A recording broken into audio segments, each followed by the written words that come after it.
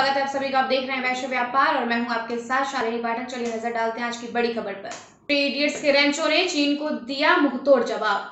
बोले, बाइकाट करो made in China चीन के साथ सीमा पर तनाव को लेकर लद्दाख के रहने वाले रेमन मैक्से से अवार्ड विजेता और शिक्षाविद और समाज सेवी सोनम वांगचुक ने चीन को उसी की भाषा में जवाब देने की बात की है। बता दें फ़िल्म थ्री इडियट्स में आमिर खान ने सोनम वांगचुक का ही किरदार निभाया था। उस फ़िल्म में आमिर खान को लोग प्यार से रेंचो बुलाते थे।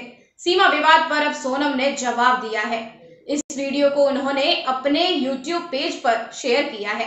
उन्होंने लोगों से चीन के बने सामान को बायकाट करने को कहा है। सोमन वांगचुक ने कहा है कि अगर हम चीन का सामान खरीदना बंद कर दें तो चीन की आर्थिक रीढ़ टूट जाएगी और वह घबराकर बातचीत के लिए सामने आएगा। उन्होंने कहा, जब सीमा पर तनाव होता है तो हम अपने घरों में ये सोचकर आराम से सो जाते हैं कि सीमा पर हमारे सैनिक जवाब दे रहे होंगे। लेकिन इस बार चीन पर दो तरफा हमला करने की ज़रूरत है। हम हर साल पाँच लाख करोड़ का सामान चीन से खरीदते हैं। इन्हीं पैसे का इस्तेमाल चीन अपने सैन्य सामान के लिए खर्च करता है। सोमन वांगचुक ने लोगों से चीन के बने सामानों को बाइकाट करने की अपील की।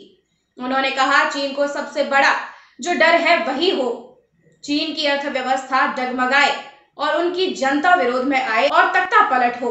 अगर हम ऐसा नहीं करेंगे तो सोचिए क्या होगा। हमारी सेना जंग लड़ रही होगी और हम चीनी सामान को खरीद कर चीन को पैसा भेज रहे होंगे। सोमन वांगचुक ने अपने फ़ोन से चीनी एप्स को अनइंस्टॉल कर दिया है।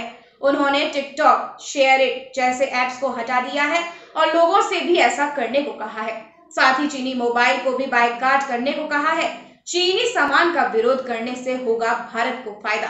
सोमन वांगचुक ने पीएम मोदी के स्पीच का भी ज़िक्र किया, जहाँ उन्होंने लोगों को विजन दिया था स्वावलंबन का। उन्होंने कहा, यह तब हो सकता है जब देशी चीज़ों का इस्तेमाल करें और इससे मजदूरों को रोज़गार भी मिलेगा और देश की प्रगति होगी। तो आज के सफ़र में हमारे साथ इतना ही। देखते रहिए वैश्य व्यापार। और मुझे दीजिए इजाज़त। नमस्कार। अगर आपको हमारी वीडियो अच्छी लगी तो वीडियो को लाइक करें, चैनल को सब्सक्राइब करें और हाँ वीडियो को शेयर करना ना भूलें।